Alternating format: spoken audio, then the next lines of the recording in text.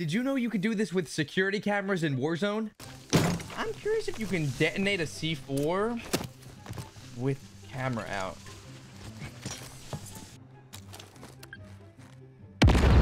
Wait!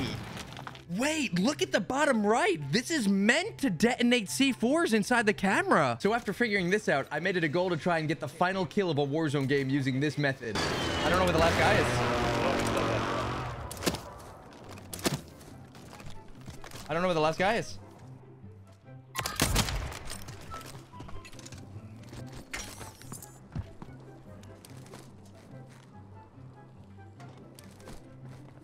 Oh my god, Chad! He's gonna do it! He's gonna come to this wall! Come on! Jump the... Come on! Come around the wall!